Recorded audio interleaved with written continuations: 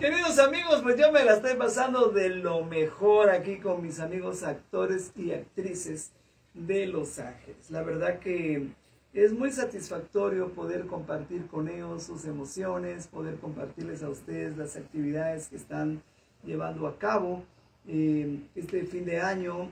eh, todos los fines de año, mejor dicho, estos meses son los más bonitos para hacer teatro porque el clima es bonito, va uno al teatro, se toma un cafecito o un vinito y se la pasa uno bien, ¿verdad? Son, eh, es el, tiempo para hacer actividades dentro. Ya se acaban las cosas de, de los picnic y todo al aire libre, porque hay mucho aire y nos lleva al aire. Aquí sí pega duro. Tengo a Isi Martínez aquí. Isi, mucho gusto de recibirte en el estudio. Mucho gusto, Gustavo. Somos amigos desde hace años y hasta hoy nos estamos conociendo. Así es Facebook. Así es, Facebook. Y bueno, y mi amigo del alma de hace muchos años, Arcas. Ahora es Arcas. Ya alguien me va a decir, no es Arcas y me va a decir quién es. Pero pues ni modo, él ya se cambió el nombre, ¿verdad? Pues ni modo. Ya de eso vamos a platicar también. Sí, bueno. es artista ahora. Artista, Artista, artista, artista. Artista. ¿verdad? Eh, estamos eh, hablando de la obra titulada Nuestra Señora de la Tortilla, que es producida y dirigida por ti. Bueno, producida, y- producida por Bilingual Foundation of the Arts. ¿Ok? Directora artística Cecilia García. Ah. Y yo soy el director invitado. Ah, muy bien. Bueno, es que para eso tenía que tenerlo aquí, ya vieron que les dije, ¿verdad? Para que él me explique bien todo. Me llama la atención algo. Bueno, ya tienen ustedes cuántas funciones ahorita en esta temporada. Ya Ya hemos hicieron. hecho cuatro. Este fin de semana, el fin de semana pasado hicimos cuatro. Y este otro, Otras cuatro. otras cuatro. Pero de las cuatro, dos en español y dos en inglés. Sí, ¿De dónde viene esa idea, porque somos la Fundación Bilingüe de las Artes. Oh, muy bien. y siempre hemos tenido pues la desde que empezó con Carmen Zapata, Margarita Galván, Con Carmen Zapata, ¿cierto? you know, ellas este pues in- ellos querían hacer pues teatro en, en español y también en inglés, Sí, no, muy- porque muy buen nosotros hablamos dos idiomas y eso es lo Muy que es. Yo no eres tú. Yo. Bueno, ya veo que no tiene mi bandera aquí, Cubano, pero cubano, no, puertorriqueño. puertorriqueño, bueno, casi hablan igual. Pero bueno, me debes la bandera. Te la debo. Me la debes, Te la debo, favor, te la debo. Porque miren, solo tengo aquí... eh, Tiene, tiene a Santo Domingo, Santo tiene a, creo que a Guatemala, El Salvador. Guatemala y El Salvador. Así que me deben... a- Los de México... ¿Y qué pasó con México? Y tantos mexicanos que vienen aquí ¿Mi y no, bandera? no, pues no me la han traído, ¿verdad? Pues un amigo de Puerto Rico, ¿verdad? Eh, pues qué bien, porque tengo años de, de estar yo eh, sabiendo de, de esta institución. Y, y bueno, qué bueno que todavía existe y que siguen trabajando. Hace ya Vamos a 50 hablar- años. Sí, claro, Más. claro, más de 50 años. Ah, Art, Dígame. Art o Arturo, Art. Ah, puedes llamarme como quieras. Mi nombre ah, Como es. Arturo Castañeda. Ujú. Siempre lo ha sido, pero por alguna situación del destino que podemos platicar fuera o después, Ujú. este, decidí ah, enfocarme en el medio artístico eh, de una manera más seria y profesional. Y quise dejarme mi nombre que es Arturo Castañeda, partido a la mitad, Artcast. Sí, porque ahorita muchos amigos van a decir, ahí tenés a Utico, Sí, a Utico de la Cuesta, sí. que hizo una gran, una, una, una gran temporada aquí en Los Ángeles, se hizo muy popular por algunos papeles eh, que hizo en diferentes obras y lo he tenido en varios programas aquí conmigo, pero eh, pues así es la vida y él encontró ahorita otra oportunidad más grande para seguir adelante con su carrera, entonces ahí hubo un contrato y bueno, te vas a llamar Artcast. ¿Quién te dijo eso? Yo, yo ya sé quién fue que lo hizo. Y a mí ya me contaron en lo que estás. Mientras tú ibas, yo Sí, ya sabía pues- todo. Pues sí, sí me investigaste, Sí, sí, me- fue, fue por un, un.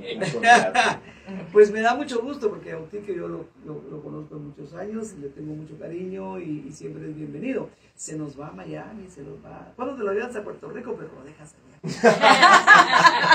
No soportaría el calor.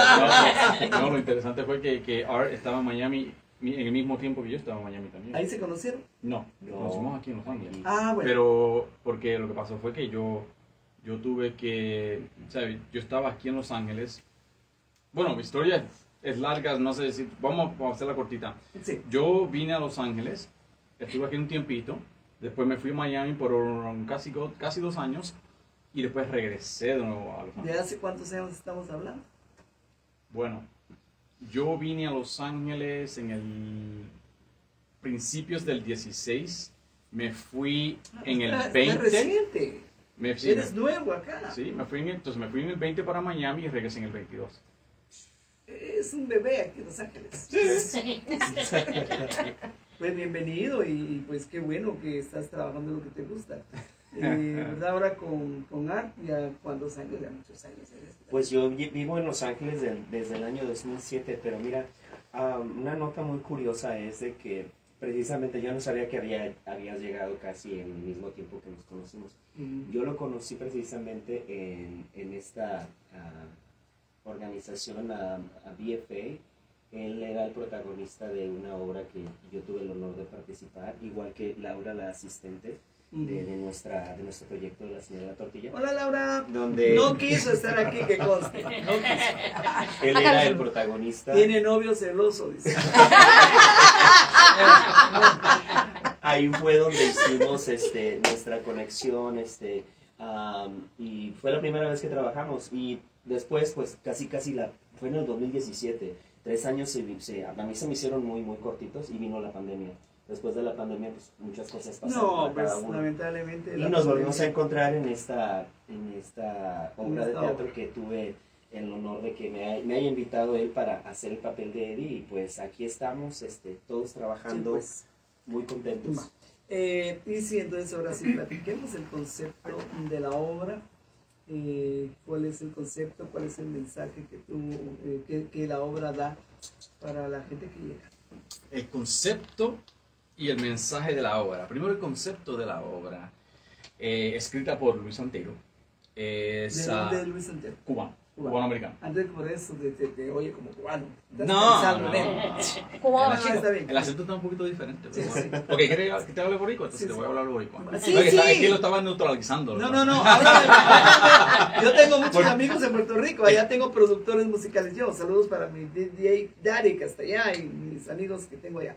Bueno, no, en Entonces, serio, para que no, me crean que eres de Puerto Rico. No, es que, es que lo que pasa es que si, si empiezo a hablar puertorriqueño no van a entenderlo ni la audiencia mexicana.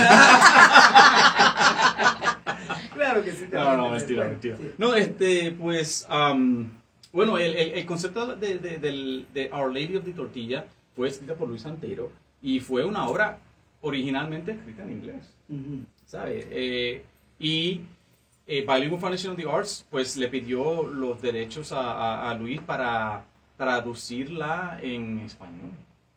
Y entonces, pues ahí, ¿sabe? Porque eso, otra vez, eso es lo que, el- lo que la fundación quiere, es obras en inglés Sí. y en español. Ujú, sí. Entonces, el concepto simplemente es pues una, una familia este, hispanoamericana que, que trata de pues sus, sus, sus traumas de, de, de- de familia eh, que siempre pasan y ¿sabe? tienen pues la, la tía Dolores que es bien religiosa este, a un punto, un punto maniático con su religión. Y, y una madre, pues eh, Dalia, que, que está pues como típica madre eh, buscando sus cosas, tratando sí, de, de- de estamos- llevar a su hijo a- a- adelante. Sí, sus estamos, hijos. está- estamos platicando como que es una obra hecha en, en el siglo pasado. No, oye, es que era lo mejor. Es que sí, era el siglo pasado. Era, era lo mejor. Sí. Porque esa- es, es que, es que fue escrita en el 80, eh, creo que fue escrita en los 80s. Claro, es cuando los valores de la familia todavía existían. No, no, Oh, yo, sí, yo estoy sí. de acuerdo. Sí, sí, sí. Definitivamente. Sí, sí, sí. Ujú. Y, y- y- y claramente esta obra fue puesta en escena por Bilingual Foundation the Arts, creo que en el, 90 y- en el 85 o el 89, no estoy muy seguro, Claro. pero 85-89 fue puesta en escena aquí y en, en Los Ángeles, ah, pero eran por los 80 que lo escribió Luis Antero. Sí, pues, y sí, se por- trata de los 80. Sí, pero lo que me estás diciendo, sí, pues es una familia eh, ejemplar del siglo pasado, cuando nos educaban de verdad. Entonces, eh, qué, qué bonito. Y, y- y el mensaje, rapidito, el Sí. mensaje que quiero que, que, quiere- que quería dar, a- quiero darle a, a la audiencia es que no importa quién sea tu familia, no importa las peleas que uno tiene en la familia, al fin y al cabo estamos unidos por amor. Muy cierto. Sí, definitivamente. No, a veces mucha gente se queja que la familia es la, la peor, que No, a la hora que le pasa a uno algo, la familia la que pone la cara por uno. Aunque uno sea lo peor de la familia, la familia la que está ahí. Los amigos o los vecinos, mejor si no te conocen. eh, Eutic, Arturo, Art. Sí. Eh, tú estás acostumbrado a hacer muchos papeles. El papel de ahora se ajusta a lo que a ti te gusta. Lo estás disfrutando.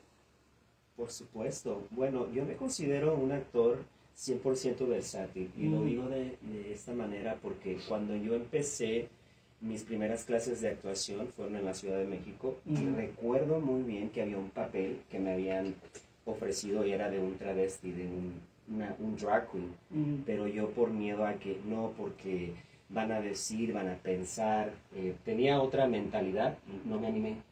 En cambio, se lo dieron a uno de mis compañeros que era, tenía como, eh, no sé, no, yo pensaba que no le iba a quedar ese papel. Cuando lo hizo, se llevó la obra. Pero a mí me lo habían ofrecido, pero te voy a ser sincero, cuando me lo ofrecieron sí me, me, me ofendí porque dije, me lo ofrecieron quizás porque, no sé, tengo manerismos, no sé, no lo quise.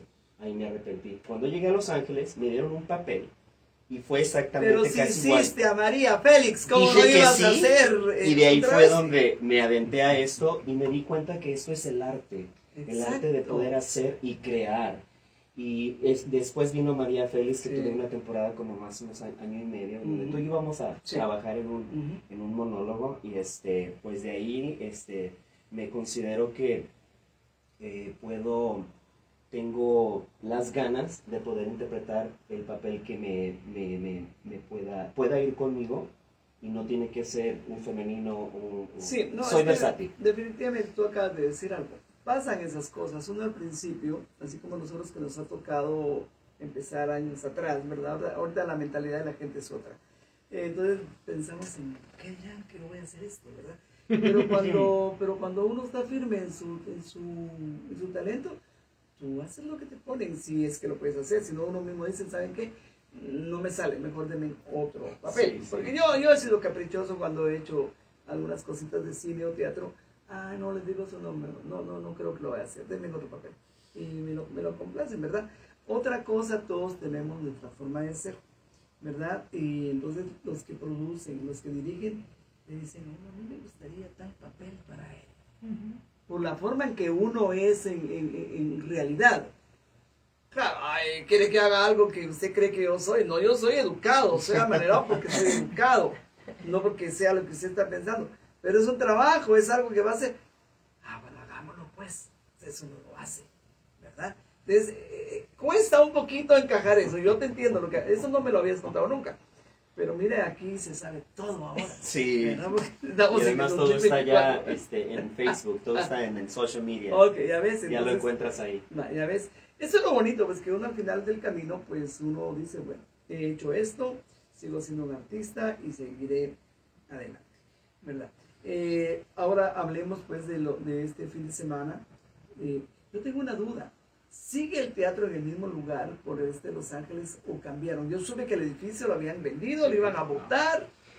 Bueno, depende ¿Cómo del edificio. Bueno, no, no sé de qué, de qué, ¿Qué año, no sé de qué año estás hablando, pero 35, desde, 40. desde que yo me acuerdo siempre estamos, hem- hemos estado en Plaza de la Raza, que está ahí en 3540 North En la Mission Road, plaza.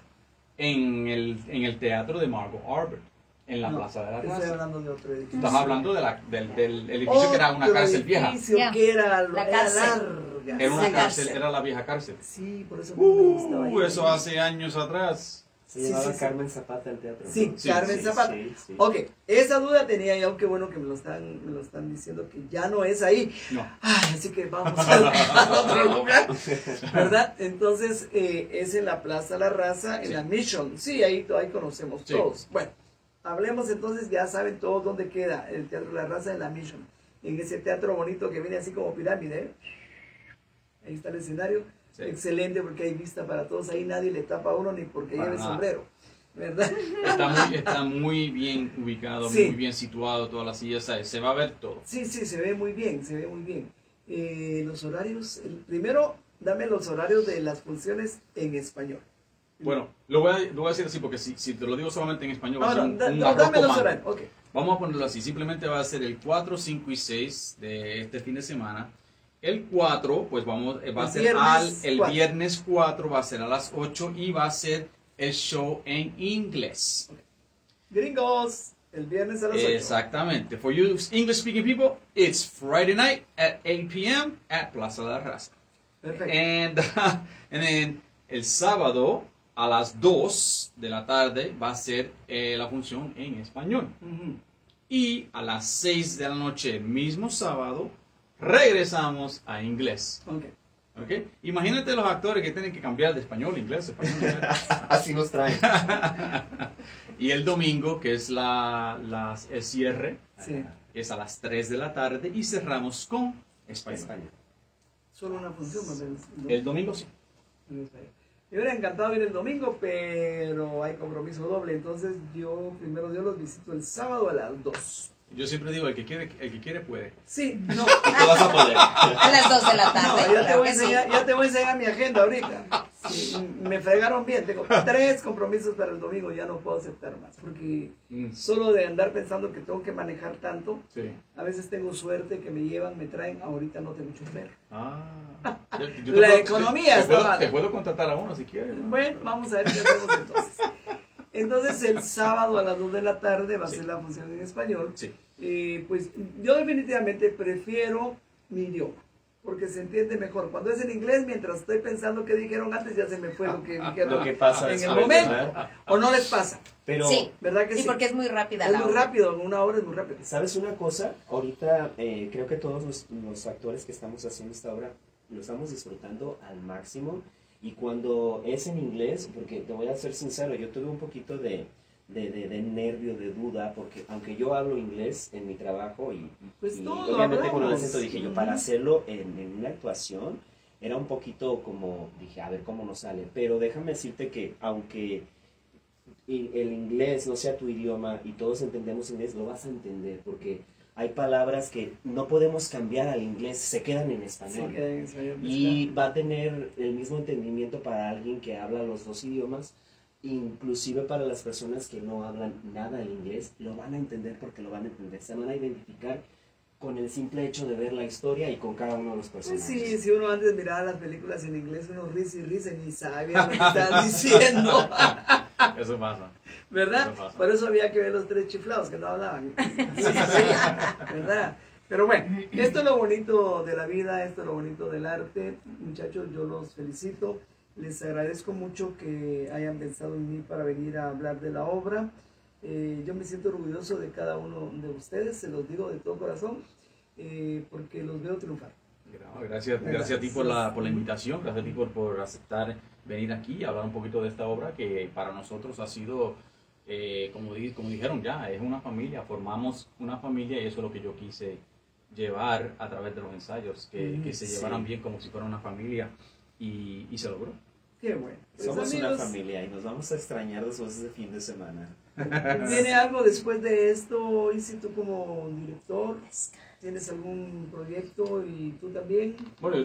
Sí, bueno, yo tengo, yo tengo varias cosas todavía ya antes, anteriormente, que todavía está rodando ahora, eh, un cortometraje que hice, que bueno, que dirigí con amigos míos, está rodando en los festivales, tengo dos largometrajes eh, como actor que ya también están eh, por salir y están en los festivales también, y en el futuro para el verano, con el Bilingual Foundation of the Arts, tenemos la, el festival de, del, del teatro, que, que siempre se hace, este, el Lincoln, el Lincoln Park uh, Theater Festival, Ujú. que se va a hacer en, creo que en junio, espero, y ahí pues vamos a tener, este, sea, bueno, obras, vamos a tener Claro, invitados. definitivamente, ¿verdad? ¿Y tú, eh? Pues yo tengo un compromiso, un- ah, una- algo que estoy preparando para Halloween, Día de Muertos, este, es- y una pastorela que viene para a mediados de Sí, diciembre. tú siempre has tenido actividad para el Día de los Muertos. Fíjate, eh, eh, tengo la suerte de que me han invitado después de que hice el primer este,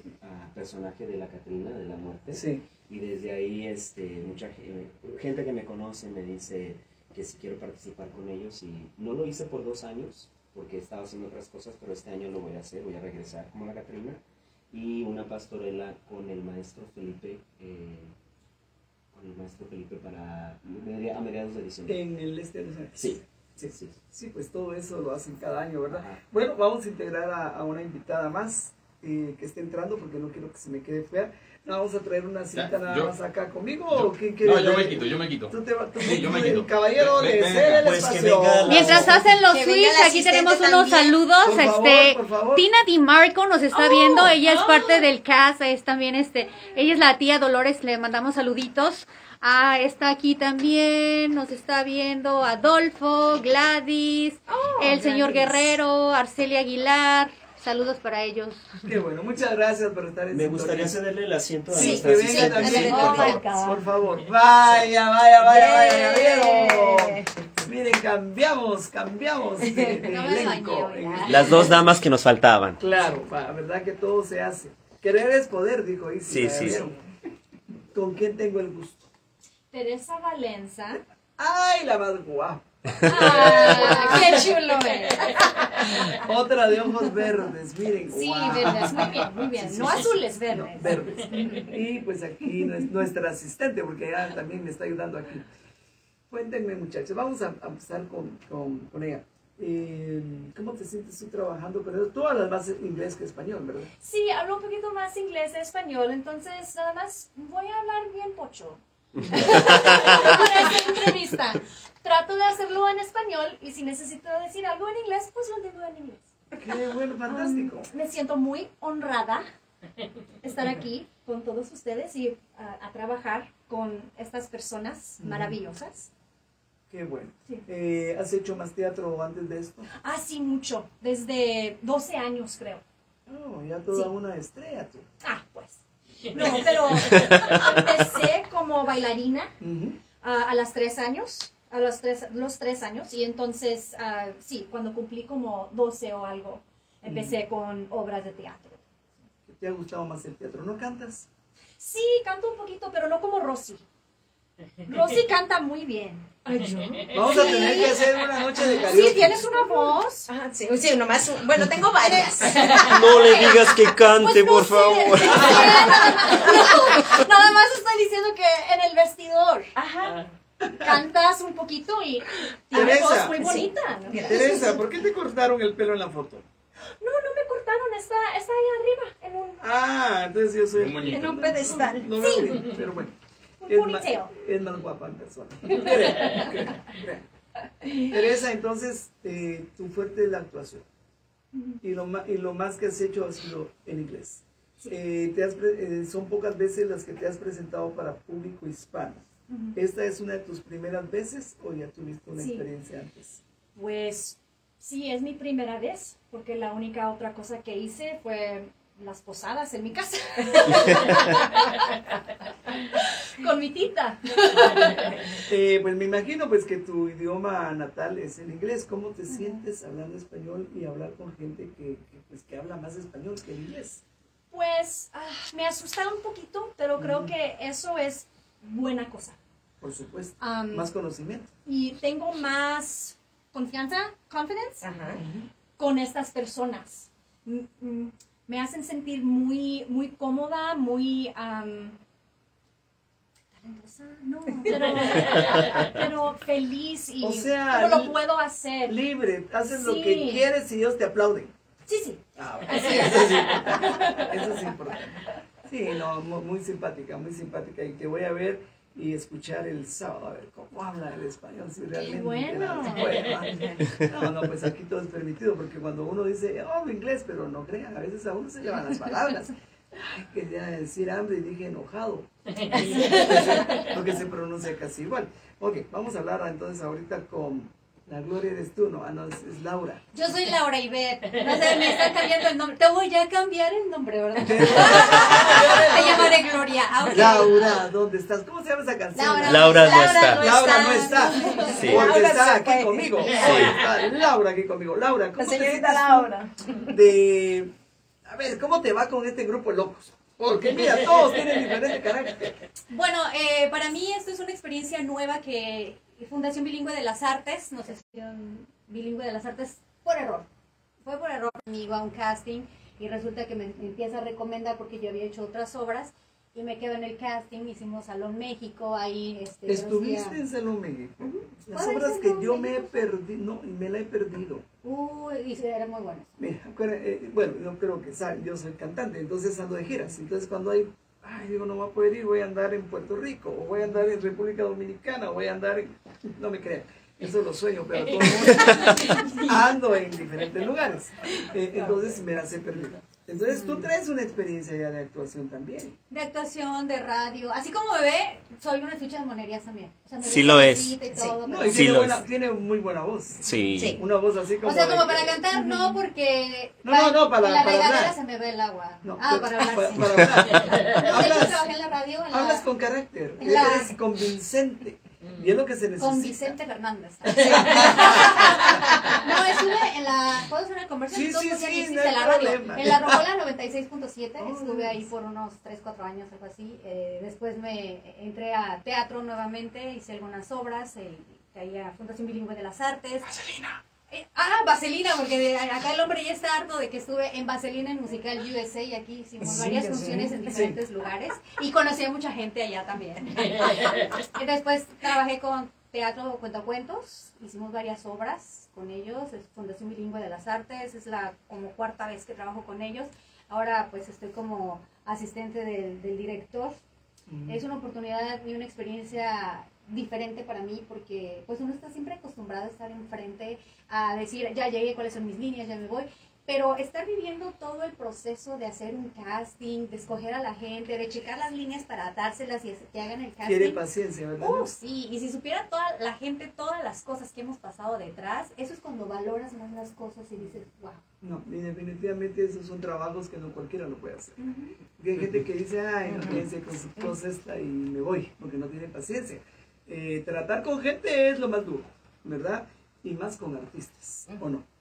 Sí, porque algunos son divas, divos y así como... Ah, no, pues aquí Nombres. digo. Nombres. Nombres, y puedo echar de cabeza. A veces no, no se quieren poner lo que uno les dice, no se quieren peinar como uno les dice. Mira. Les dan unas direcciones y hacen lo que quieren. O sea, No me pongas en mal. Manchan con el vestuario. Ese fue, Limpian. ese fue otro actor que me lo echó a mí. Se llamaba Eutiquio. Fue tu hijo Nelson. Definitivamente va a haber una segunda parte con este grupo de amigos porque están contando cada cosa. Las anécdotas que tienes que ¿Verdad? conocer. Sí, vamos a hacer algo bonito más adelante de anécdotas de los actores de Los Ángeles. Gustavo, mira, quería mencionarte algo, que ahí en la obra, ahora que vayas, este, tenemos un locutor. No le digas. Él No, tiene que pues- venir, él tiene que venir a la obra para saber de qué estás hablando. Ok, bueno, te dejaremos en suspenso y si no vas a la obra te lo perdiste. Bueno, Yo no. está bien, yo ahí voy a estar. No me vas a decir que ser Humberto Luna. No. Yo trabajé con Humberto Luna, Como es uno de este, los locutores muy queridos de aquí, dije, de repente lo van a tener de invitado especial. Pero bueno, no, no importa, sea quien sea, vamos a ir primero. Ah, también trabajé con el, el Cucuy, con El Humberto Cucuy Luna. también. Bueno, hay mucha gente que hemos estado en el medio y pues todos tenemos nuestra historia, todos tenemos nuestro talento todavía para seguir adelante porque no todo es eterno, ¿verdad? De repente ya no queremos hacer nada y nos vamos a la casa, ¿verdad? Así que pues de nuevo los felicito a todos, ha sido una tarde maravillosa con ustedes. Yo no me he levantado de esta silla durante cuántas horas llevamos ya de? Como dos. Pero bueno. Llegamos aquí a las 5. va. No, gracias por Casi el dos espacio, horas. gracias por la oportunidad y... Estoy a, la, estoy a la orden, Laura, y si ustedes que están ah, en cabeza de, de- de organizar las obras, tienen la puerta abierta del programa del estudio de Charanga TV. Charanga TV es una empresa salvadoreña, yo como guatemalteco pues hicimos unión, hicimos mancuerna para apoyar todo lo que es lo de nuestras comunidades, ¿verdad? Y lo estamos logrando. Un saludo para todas las personas que nos ven fuera de Los Ángeles. Nos ven en diferentes países, en diferentes estados acá en Estados Unidos. Y siempre, aunque sea un like que dan o que compartan las entrevistas, ya con eso nos están apoyando bastante y le están demostrando a la gente que está trabajando por hacer algo por nuestros países que ustedes también los apoyan. Así que muchísimas, Muchísimas gracias, gracias, Laura. vamos al teatro. Muchísimas Muchas gracias. gracias. También guapa. Te veo el sábado. No, de que tengo que ir, tengo que ir. Muchísimas gracias, bendiciones para todos y siempre seguimos en contacto. Eh, para mis actividades de fin de semana, eh, visiten mi página, ahí están todas las publicaciones de mis shows este fin de semana y los invito al teatro. Voy a ir a las 2 de la tarde, primero Dios, ahí voy a estar con ellos. Lo importante es que es a la hora de lunch. Alguien de ustedes va a tener que invitar a lunch. Por supuesto, aquí el director. El director que me invite. A ver si me lleva a un lugar de